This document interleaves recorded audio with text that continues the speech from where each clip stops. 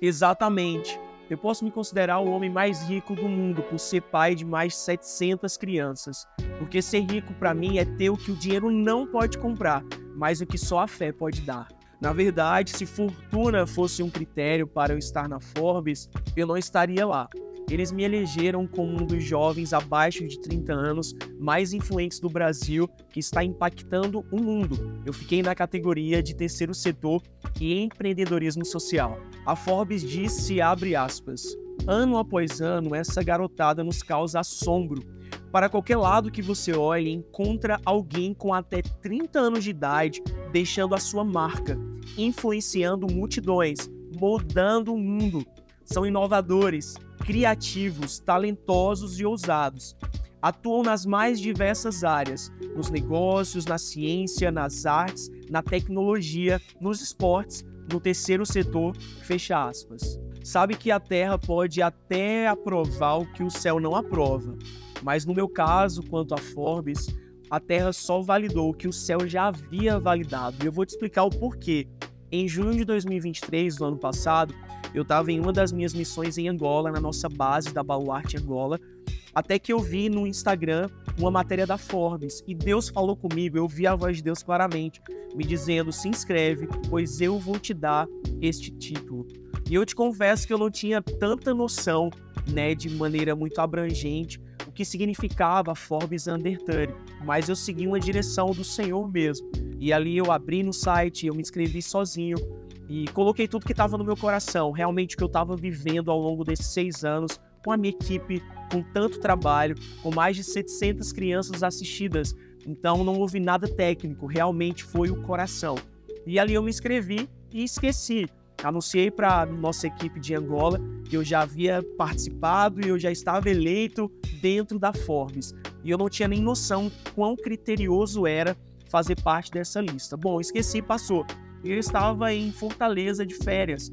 E ali logo cedo da manhã eu abri o WhatsApp e a minha assessoria, nem de imprensa, na verdade de agenda, me falou: Marcos, faz uma semana que a Forbes tenta fazer contato contigo, pois eles te escolheram como um dos jovens mais influentes do Brasil em terceiro setor com a Baluarte. E quando eu vi, eu levantei da cama pulante, chamei a família, celebrei com aquilo realmente foi uma grande surpresa para mim. Bom, na segunda-feira à tarde eu já estava fazendo fotos na casa de uns amigos, enviei à noite para a revista e quando foi na sexta-feira, mais uma vez eu ouvi a voz de Deus dizendo: "Abre a internet e procura a lista da Forbes 2023". E eu sabia que só ia sair em janeiro.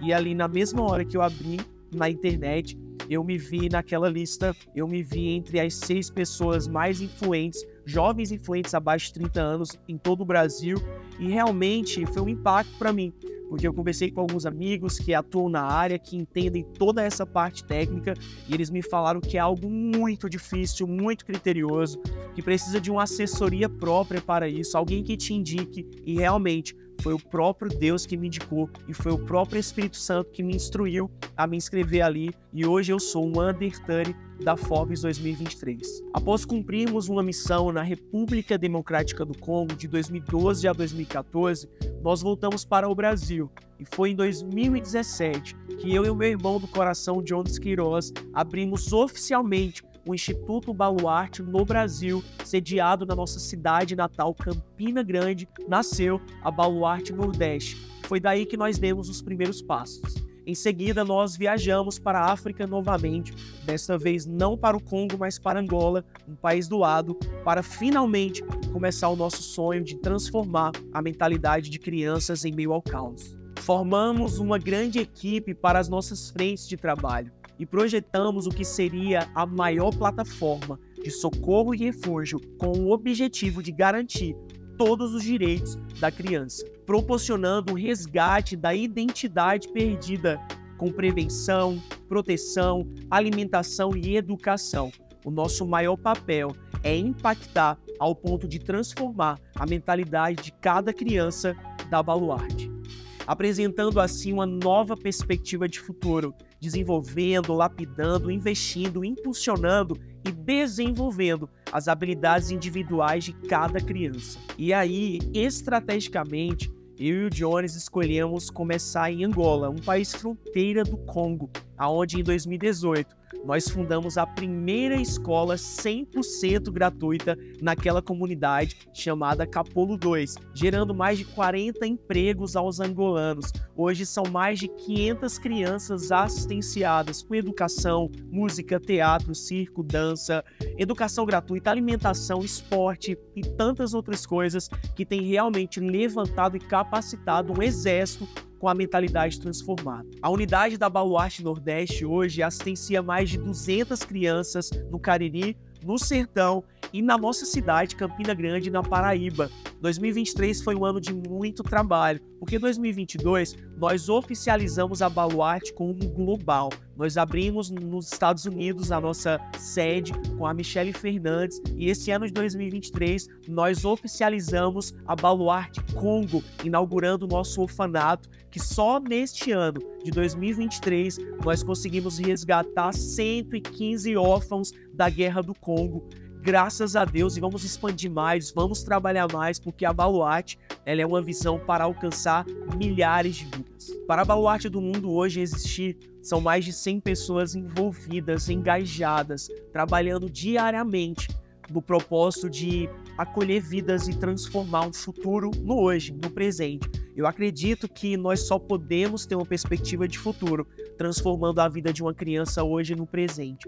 E destes mais de 100 colaboradores, 40 empregos diretos são oferecidos em Angola, 20 empregos diretos são oferecidos no Congo e nós vamos expandir. Contamos com você também. Em uma entrevista para Forbes Under 30, eles me perguntaram qual a importância da religião no trabalho da ONG.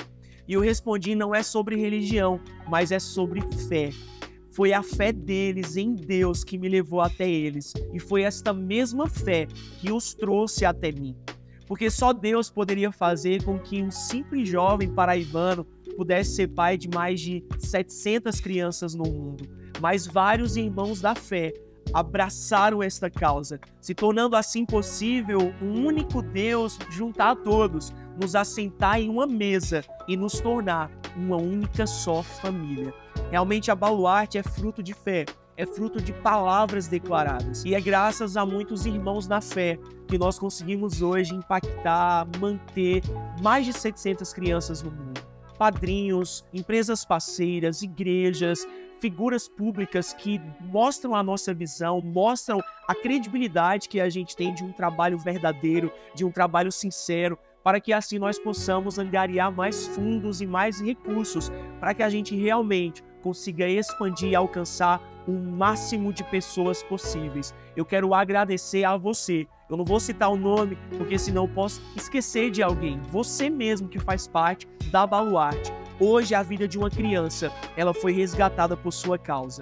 Hoje crianças que sofreram abusos sociais e tantos outros, elas estão salvas por sua causa. Hoje crianças que comiam outrora coisas que não se comem, elas podem aceitar uma mesa por sua causa. Eu quero te agradecer, porque a Baluarte hoje está no mundo e ela realmente vai continuar avançando e crescendo e transformando a vida de milhares de crianças. E é por causa de tudo isso que você acabou de ver e ouvir que nós somos a Baluarte no mundo.